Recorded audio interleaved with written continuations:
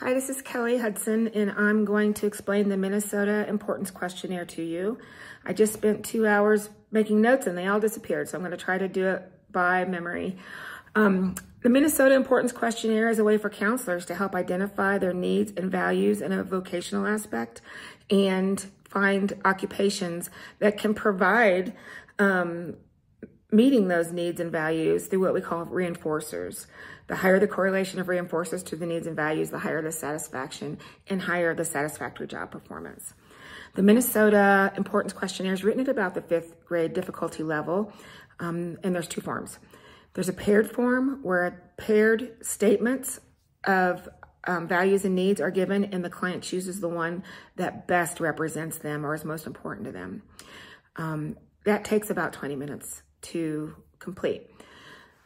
The other one is the ranked form, and it provides five statements and clusters for the patient to rank in, in an order of importance from one to five.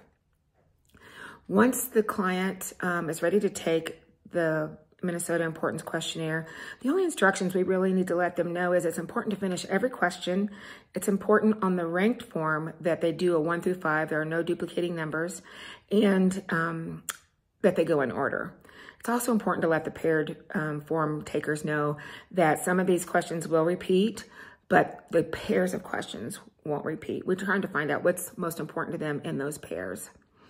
We send that away to the Minnesota or University of Minnesota Vocational Research Department and we get a profile back.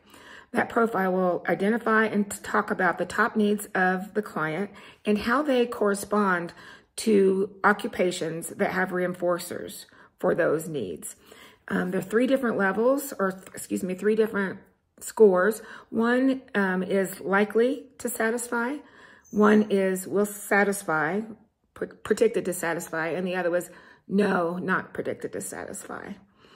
And counselors can use these in several ways. We can um, rank the needs from highest to lowest. We can rank what's important in clusters of jobs. We can talk about um, the client's perception of their needs and values as far as vocational. We can talk about their skills and how they align with these vocations and their needs and values. We can do it from the client's perspective. We can do it from the therapist's perspective. And we can just do an objectionable, excuse me, an objective assessment of, hey, here's what your assessment says. What do you think about that? So I hope I didn't leave too much out. The one thing I do want to add is that it's important to look at the consistency score, the score, the LCT, because if the client did not answer consistently, it will not be a reliable assessment. Thank you.